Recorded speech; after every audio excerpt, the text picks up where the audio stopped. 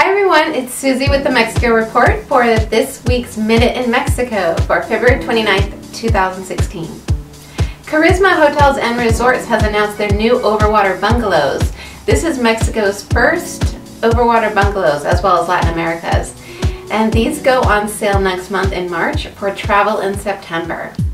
Hacienda Jurica in Querétaro, a Las Brisas hotel collection, has announced their new package, Make Love Historic, just in time for the honeymoon season.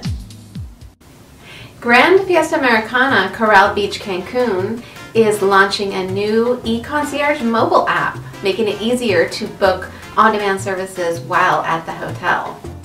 Did you know it's still whale watching season in Mexico? Now through the end of March, see the whales with 100% certainty. An ideal location to see the whales is Los Cabos. This is a perfect activity to do with your kids.